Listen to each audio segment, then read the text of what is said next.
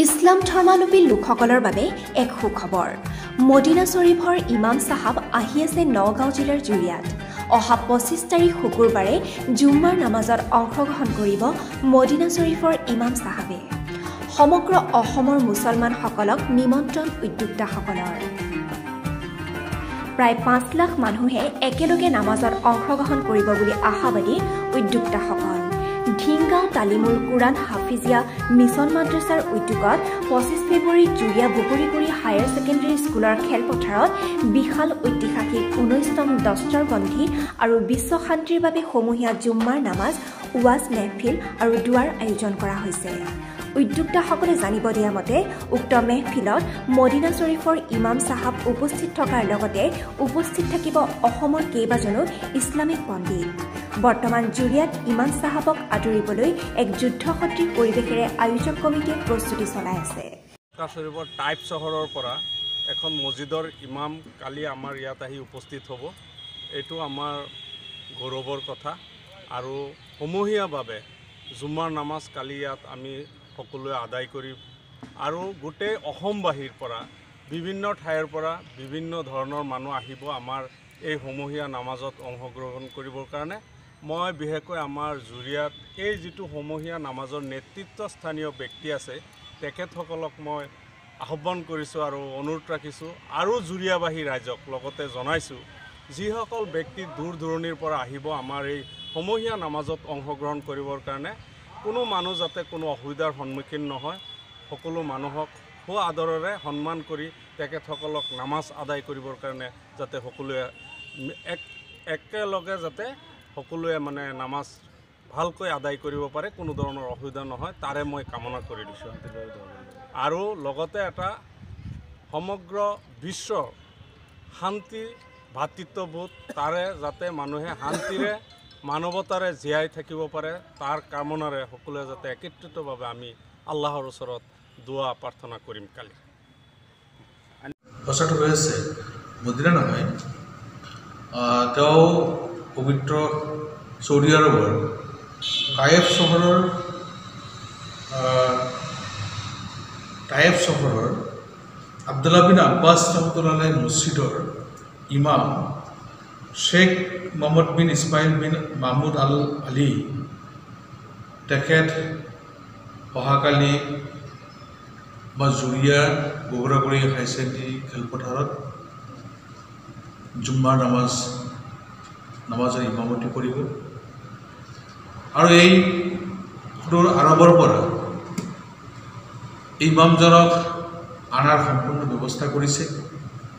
ডিংগাঁও তালিমুল কোৰাণ হাফিজিয়া ও কাৰিয়ানা ইছলামীয়া মিছন মাদ্ৰাছা কৰ্তৃপক্ষ মাদ্ৰাছা কৰ্তৃপক্ষই যোগাযোগ কৰি তাৰিখ ঠিক কৰিছে আৰু তেওঁক আগমন অহাকালিলৈ কৰা হ'ব। গোটেইখিনি প্ৰক্ৰিয়া ডিংগাঁও তালিমুল কোৰাণ হাফিজিয়া কাৰিয়ানা ইছলামিক মিছন মাদ্ৰাছাৰ তৰফৰ পৰা কৰা হৈছে।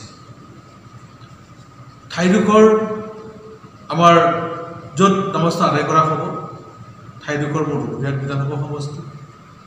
গতিকে ৰঘুবিহাট বিধানসভা সমষ্টিৰ প্ৰতিনিধি হিচাপে মই ডিংগাঁও আলিমুল কোৰাণ হাফিজা কাৰিয়ানা ইছলামিক মিছন মাদ্ৰাছাৰ কৰ্তৃপক্ষক ধন্যবাদ জনাইছোঁ যে তেখেতসকলে এই কায়েফ চহৰৰ ইমামজনক আমাৰ সমষ্টি জুৰিয়ালৈ প্ৰদৰ্শন কৰাব।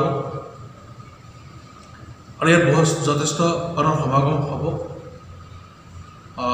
মই এটা আহ্বান জনাইছোঁ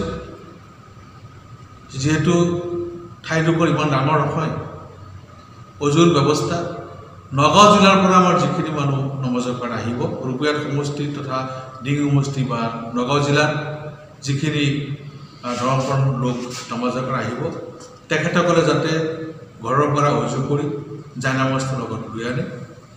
বাহিৰৰ মানুহৰ কাৰণে প্ৰায় ডেৰশ মানুহ বহি অজু কৰিব পৰা ব্যৱস্থা এটা হৈ থকা হৈছে। গতিকে সময়ত সেইখিনি নিশ্চয় সম্পূৰ্ণ হ'ব। আজি ৰাতিপুৱাৰ পৰা মই তাতেই আছোঁ।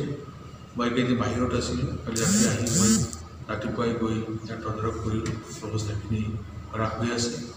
গতিকে মই আশাবাদী যে আমাৰ বিশ্ব শান্তিৰ বাবে নামাজৰ শেষত ধোৱা হ'ব।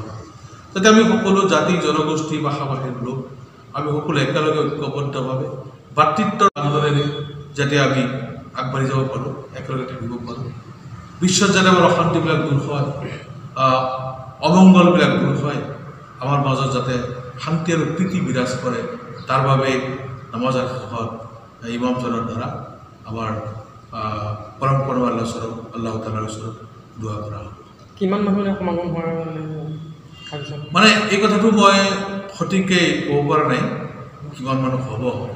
সময়ত দেখা যাব কিমান মানুহ হয়। কিমান মানে লাখৰ ওপৰত মানুহ কিন্তু লাখৰ হিচাপত মানুহ জেগা দিব পৰা ঠাই কিন্তু তাত নাই। গতিকে হয়তো কোনোবাই কৈছে পাঁচ লাখ পাঁচ লাখ কৈছে। এইবিলাক আচলতে সত্যৰ আধাৰত নহয় সঠিক কথাটো মই এতিয়াই ক'ব নোৱাৰিম যিহেতু সেই সময়ত কিমান মানুহ ক'ৰ পৰা কিমান মানুহ আহে সময়হে ক'ব। তাত কিবা নিৰাপত্তা ব্যৱস্থা কিবা ব্যৱস্থা কৰা হৈছে নেকি? নিৰাপত্তা নিৰাপত্তা আমাৰ নামাজৰ কাৰণে নিৰাপত্তা নালাগে যিহেতু আমি প্ৰাৰ্থনা কৰিম। তাত যথেষ্ট মানুহৰ প্ৰাৰ্থনা যিহেতু আমি প্ৰাৰ্থনা কৰিম বিশ্ব শান্তিৰ বাবে আৰু সেই প্ৰাৰ্থনা অকল মুছলমানৰ কাৰণে নহয় গোটেই বিশ্বৰ মানুহৰ কাৰণে মানৱ সমাজৰ কাৰণে বিভিন্ন জাতি জনগোষ্ঠীৰ কাৰণে সকলো সম্প্ৰদায়ৰ কাৰণে যাতে আমি সকলোৱে ঐক্যবদ্ধভাৱে একেলগে মিলা প্ৰীতিৰে আমি ভাই ককায়ৰ নিচিনা আমি যাতে থাকিব পাৰোঁ আমাৰ সকলোৰে মাজতে শান্তি বিৰাজ কৰে অসহায় অপ্ৰীতিবিলাক যে আমাৰ মাজৰ পৰা নাইকিয়া হয় সাম্প্ৰদায়িক ভেদভাৱবিলাক যাতে নাইকিয়া হয় আমি যাতে মানুহ মানৱ সমাজ এটা যাতে আমি সৃষ্টি আমাৰ হ'ব পাৰে। তাৰ কাৰণে সৃষ্টিকৰ্তাৰ ওচৰত আমি এইটোৱে প্ৰাৰ্থনা কৰাৰ কাৰণে এই অনুষ্ঠান। গতিকে ইয়াত বেলেগৰ নিৰাপত্তা লাগিব বুলি মই নাভাবোঁ নাভাবোঁ। নিৰাপত্তা প্ৰত্যেকে নিজৰ নিজকে নিৰাপত্তা দি ৰাখিব নিশ্চিত নিশ্চয়। ধন্যবাদ। ঠিক আছে